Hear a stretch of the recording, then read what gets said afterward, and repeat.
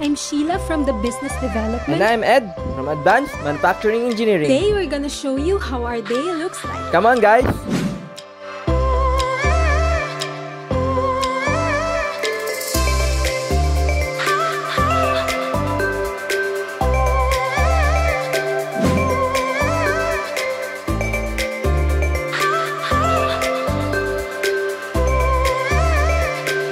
Do you know what my aspiration is? To, become, like her. Miss Carla Camino. She started as a cadet engineer and is now a sales and business development director. Mr. Philip Reyes. He started as a cadet engineer and now China's regional engineering head.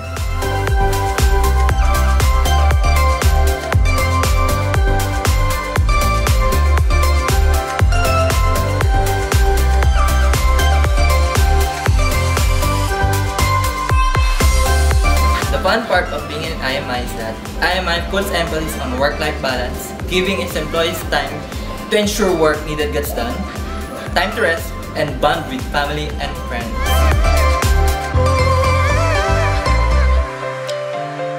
The most valuable thing that I learned in IMI is the power of asking. If you ever have questions, don't be afraid to ask. If you need help, always ask. Curiosity allows a person to ask questions, learn, and truly grow.